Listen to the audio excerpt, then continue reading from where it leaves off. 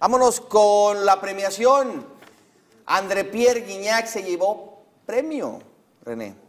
Sí, le tocó llevarse el premio al eh, mejor gol del último año futbolístico, que fue el que le hizo a Pumas en la fecha número 6 del torneo, el debut de Chima en aquel partido.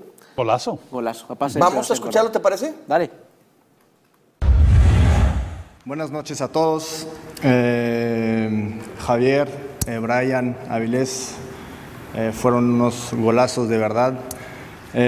yo aproveché de un buen trabajo de, de, Sebastián Córdoba, un pase increíble y solamente la finalicé. Pero muchas gracias a él, mi equipo, gracias por aguantarme todos los días. Sé que no es fácil. hay, hubo un documental hace, hace rato que me, que me tocó el corazón y no es por eh, humildad o un acto de humildad, pero es un acto del corazón, así que ese balón de oro lo voy a, a regalar a, Beto y su equipo eh, del Power Chair de Tigres. Gracias.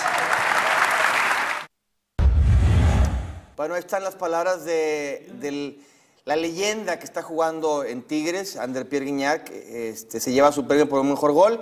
Y lo que hace al final también es fantástico, ¿no? Nuestro compañero Beto, que a veces le hemos visto aquí también en Televisa Monterrey, hay foto ya que Guiñac le entrega el balón y es un detalle. detallazo. De grande, ¿no? Grande adentro de la cancha y fuera de la cancha. Sí. Bien. Felicidades, bien, pues.